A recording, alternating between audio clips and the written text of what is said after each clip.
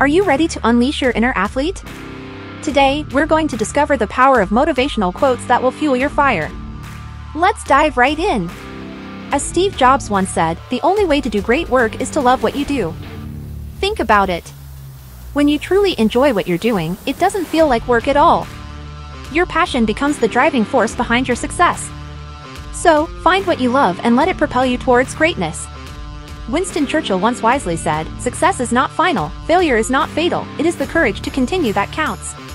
Remember, setbacks and failures are a natural part of any journey towards success. What truly matters is your ability to persevere, to rise above the challenges, and keep pushing forward. It's the courage to continue that makes all the difference. Tommy Lasorda once emphasized, the difference between the impossible and the possible lies in a person's determination. It's all about your mindset. When you have the unwavering determination to achieve your goals, even the most daunting challenges become surmountable. Believe in yourself and your ability to conquer the impossible. So there you have it, three powerful quotes to ignite your inner athlete. But it doesn't end here. It's time to get inspired and take action today. Share this video with someone who needs a motivational boost. Together, let's unlock our full potential and unleash the athlete within us. Remember, greatness awaits those who dare to chase it. Stay motivated, stay focused, and keep pushing forward.